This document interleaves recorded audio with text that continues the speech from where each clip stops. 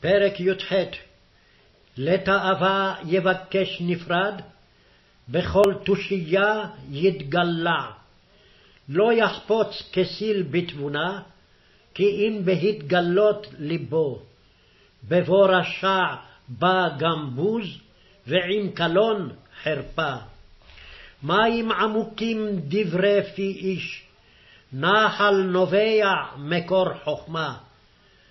שאת פני רשע לא טוב, להטות צדיק במשפט.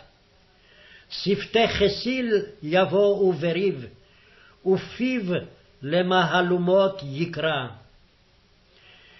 פי חסיל מחיתה לו, ושפתיו מוקש נפשו. דברי נרגן כמתלהמים, והם ירדו חדרי בטן.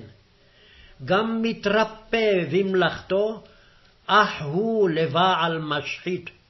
מגדל עוז שם אדוני, בו ירוץ צדיק ונשגב. הון עשיר קריית עוזו, וכחומה נשגבה במשכיתו. לפני שבר יגבה לב איש, ולפני כבוד ענווה. משיב דבר בטרם ישמע, איוולת היא לו וכלימה. רוח איש יכלכל מחלהו, ורוח נכאה מי יישאנה. לב נבון יקנה דעת, ואוזן חכמים תבקש דעת. מתן אדם ירחיב לו, ולפני גדולים ינחנו. צדיק הראשון בריבו, ובא רעהו וחקרו. מדיינים ישבית הגורל, ובין עצומים יפריד. אך נפשע מקריית עוז, ומדיינים כבריח ארמון. מפרי פי איש תשבע בטנו, תבואת שפתיו ישבע.